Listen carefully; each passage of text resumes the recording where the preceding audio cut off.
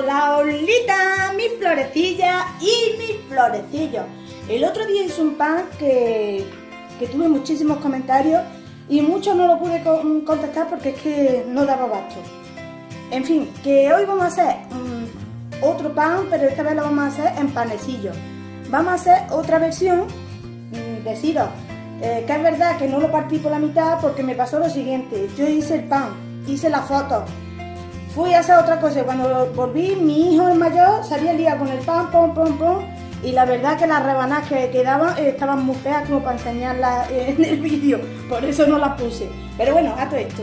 Hoy vamos a hacer lo que son unos bollitos, pero los vamos a hacer integrales.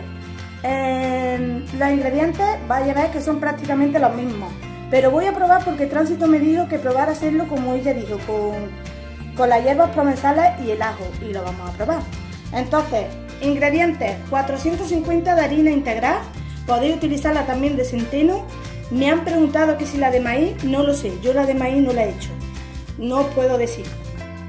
Eh, una cucharadita de sal, una cucharadita de bicarbonato, una cucharadita de azúcar, cucharadita de, hierbas provenzales, cucharadita de ajo en polvo, 50 mililitros de zumo de limón y 350 de, leche.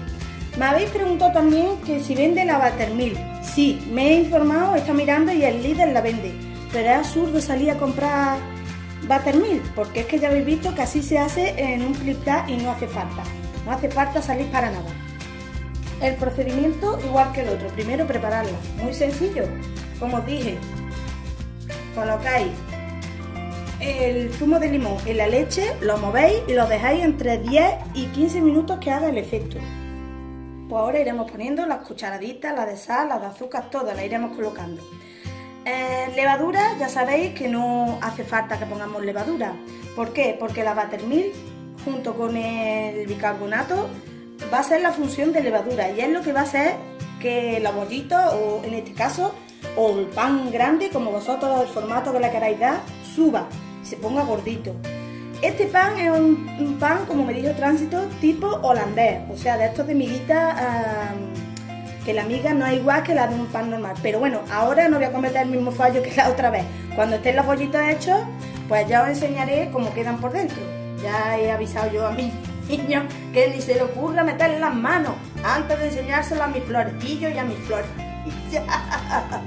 Así que nada, vamos a dejar que termine esto de, hacerse y ahora se lo colocamos.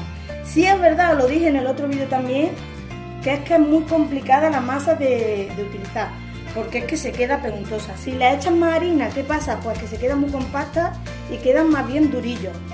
Las medidas son estas, no las cambiáis porque si no, no van a salir bien. Así que nada, ya solo me queda deciros que vayáis preparando el horno, precalentándolo a 200 grados, entre 200 y 220 más o menos.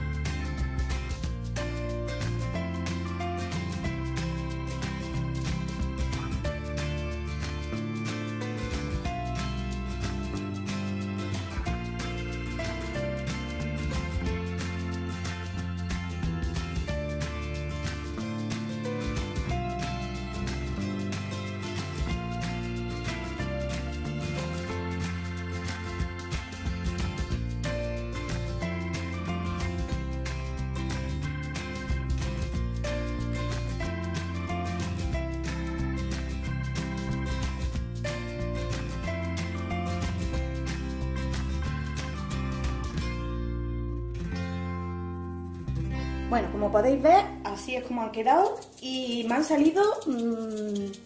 Mm, Por supuesto, si no lo queréis en panecillo, pues lo echáis en, un molde.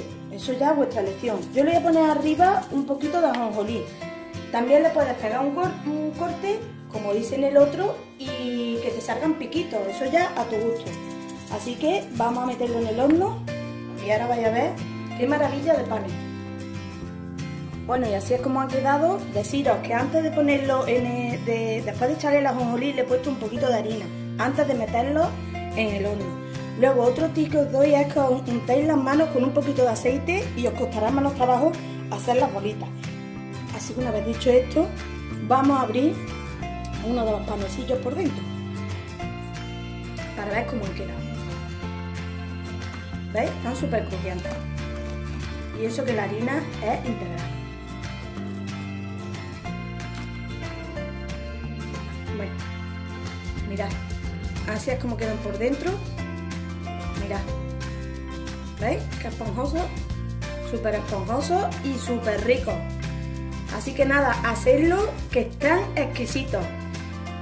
Y si os ha gustado el vídeo, ya sabéis, dedito arriba, compartir la receta. Voy a ponerlo así para arriba para que lo veáis mejor. Y nos vemos en próximos tutoriales. Os mando un beso muy fuerte.